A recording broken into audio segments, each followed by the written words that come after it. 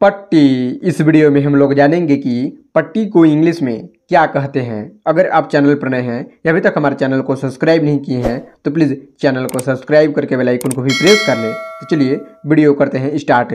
पट्टी। पट्टी को इंग्लिश में क्या कहते हैं?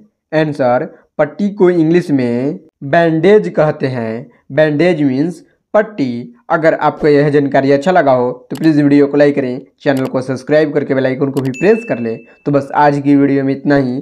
Thanks for watching